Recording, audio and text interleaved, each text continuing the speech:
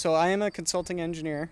Um, and I work for the, uh, the city of Brodhead. This project is all based on uh, new phosphorus regulations in the state of Wisconsin. Uh, very stringent uh, regulations came out around 2010. And uh, for the city of Brodhead, that limit is a 0.1 milligram per liter limit which is not the most stringent in the state of Wisconsin, but it, it's definitely more stringent than what they had, uh, say, five years ago. I've been working on this project uh, in terms of planning since around 2013. And uh, part of the original, uh, I guess, scope of work was looking at how are we going to meet this new phosphorus limit. And so we looked at a couple things. One, upgrading the wastewater treatment facility. Uh, I would say luckily for the, the city, they do have a, a relatively new um, and sophisticated treatment plant and so they can actually get the, the phosphorus numbers quite low.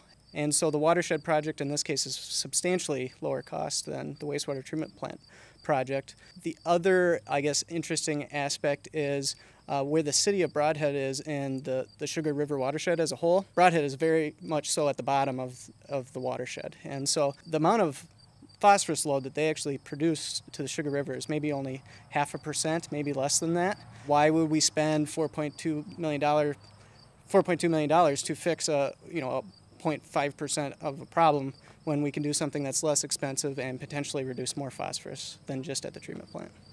One of, one of the interesting projects we worked on was uh, improving the, a local dairy farm, and I would say the the interesting aspect or what we were able to provide to the project was a significant financial benefit to the landowner. And we did that really in two ways. One, the, the city of Brodhead, who is uh, taking these credits from the landowner. We paid them financially, one for part of the construction, a percentage of the construction cost, and then we also paid um, basically a subsidized rate for technical assistance or engineering, uh, which is, I would say, in a lot of cases when you're doing dairy farm projects, that can actually be one of the biggest hindrances, the cost for technical service.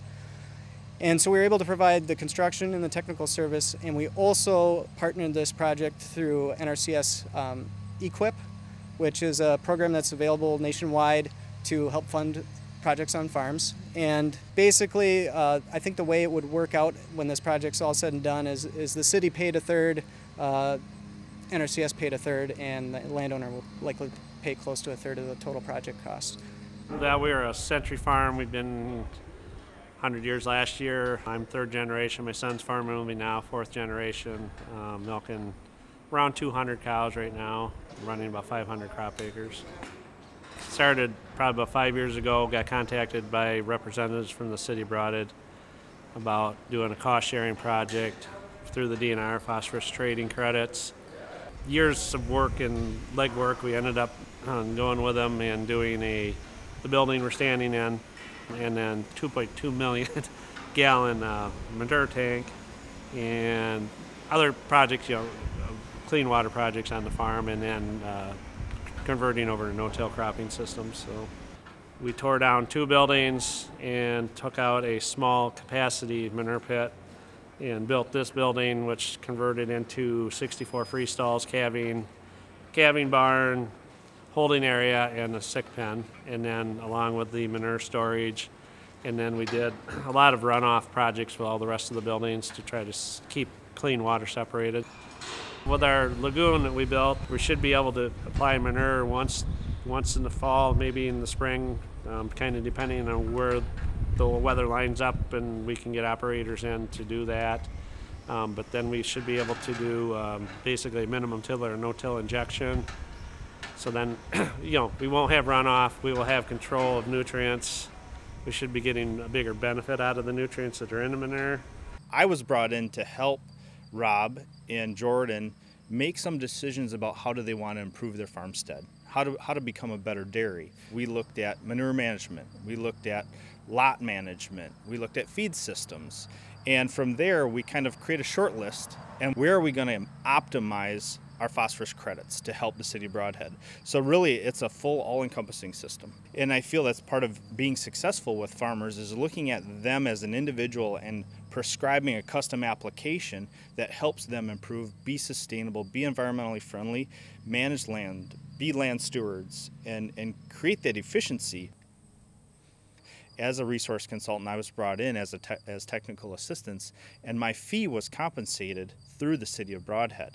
So my knowledge of NRCS and the EQIP cost share program, in addition to the financial incentives that City of Brodhead was bringing, we were able to actually marry the two together and minimizing the overall cost to the farmer. You would have never been able to do this without that cost share money because we still should be getting between City Broad and NRCS um, probably 60% cost share on it. The first reaction is like, sure, they're going to just give us money, and it's like, so pretty leery of it to begin with. But then, as we progress through the project, looking at some of the options available to us, and then um, it actually dovetailed into what we were doing quite well with my son buying in and doing some expansion and updating. So it actually did fit into our program quite well. And at one point, there was a group of us here. We were the young ones in the neighborhood, and we're all printer 60. I mean, everybody's in a different place. We were. I happened to be sitting here with a son that was graduating college and actually wanted to come back home.